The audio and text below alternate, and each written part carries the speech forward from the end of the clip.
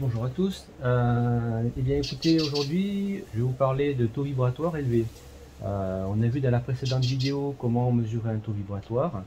Euh, on avait également euh, dynamisé l'eau. Donc là c'est l'eau du robinet. c'est plus simple. On l'avait mesuré à 10 000 unités bovis la dernière fois. Donc je vais venir la, dynamiser à nouveau. Donc on va faire monter le, taux vibratoire de l'eau. et ensuite on va venir mesurer où on en est. Voilà. Euh, donc là j'ai changé de, cadran, donc là c'est un cadran qui peut euh, aller plus loin au niveau des mesures. Euh, on est ici, on commence à 0 ici sur la gauche. Et donc sur cette partie du cadran on va aller jusqu'à 4 millions. Voilà, donc vous avez ici une échelle à. Alors c'est une échelle qui n'est est pas linéaire, hein. donc on a 1 million, 2 millions, 3 millions, 4 millions. Et sinon pour le reste on, regarderai sur mon blog euh, le cadran pour un petit peu plus comprendre. Euh, vu que je tombais sur des mesures qui étaient un petit peu trop élevées encore, donc j'ai amélioré le cadran et vous voyez que j'ai rajouté des graduations. Euh, alors après, vous voyez que ça, après ça fait beaucoup de zéros, donc au lieu de parler de millions, j'ai mis M, M comme million, donc 4, 5, 6, 7, 8, 9, 10, 10 millions. Là j'arrive au milliard, alors je me suis plutôt appuyé sur qu'on utilise en informatique. Donc on parle plutôt de gigas plutôt que de, milliards, mais c'est pareil, il y, a, il, y a, 9 zéros. Donc là, ici, on a des gigas. Euh, ici, on a des terras. Et ici, on a des pétas. Voilà. Euh, donc je fais également un autre cadran qui va encore un petit peu plus loin. Mais voilà, c'est pour vous montrer un petit peu qu'il n'y a, pas tellement de limites euh, au, niveau, au niveau du cadran. alors on va venir mesurer un petit peu tout ça.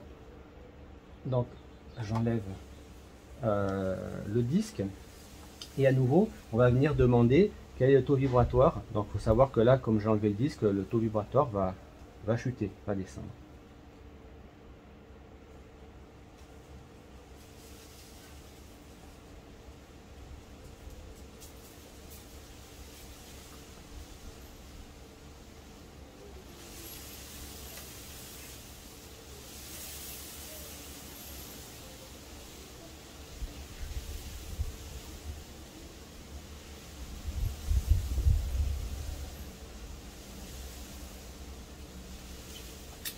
Voilà, je suis sur mes mesures, je suis arrivé à, 10, millions, 10 mégas. Euh, ce qu'il faut bien savoir, c'est que euh, ce sont des mesures qui sont sur une échelle personnelle, même si on s'appuie sur le, ce cadran.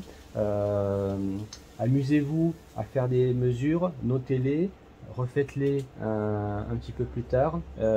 si vous connaissez quelqu'un qui pratique aussi le, pendule, vous pouvez ici également croiser les mesures, où il y aura certainement des mesures qui seront un petit peu différentes. Euh, voilà. Ce qui va être intéressant, ça va être de mesurer vraiment euh, le différentiel, l'évolution. Là, on voit bien qu'au départ, on est parti sur une eau qui était à, 10 000 unités bovis, et là qu'on est monté ici à, plusieurs millions. vous pouvez également venir faire des mesures, vous dynamisez votre eau pendant euh, un certain, mettons pendant une minute, et puis après vous la, mesurez le taux vibratoire immédiatement après, vous le faites 30 secondes après, vous le faites une minute après, etc. Vous mettez ça sur une courbe, et euh, moi ce que j'ai remarqué, c'est que on retrouve une courbe de, de, de, décharge, de, un petit peu comme un condensateur qui va se charger et décharger. Voilà, donc c'est il y a pas mal d'expérience à faire. Euh, voilà, bah, écoutez, je vous invite à, à expérimenter.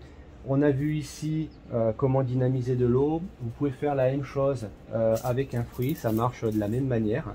Euh, également, en venant dynamiser un fruit, vous prenez une coupelle de fruits. Si jamais vous prenez un circuit, votre circuit va venir dynamiser vos fruits. moi, ce que j'ai constaté, c'est que les fruits, je les garde plus longtemps euh, quand ils sont dynamisés. Voilà, vous pouvez faire aussi des expériences sur, euh, sur le long terme. Euh, mais ça, je referai une vidéo dessus pour, pour vous expliquer, pour vous faire mon retour d'expérience là-dessus. Voilà, voilà. Merci à tous. Au revoir.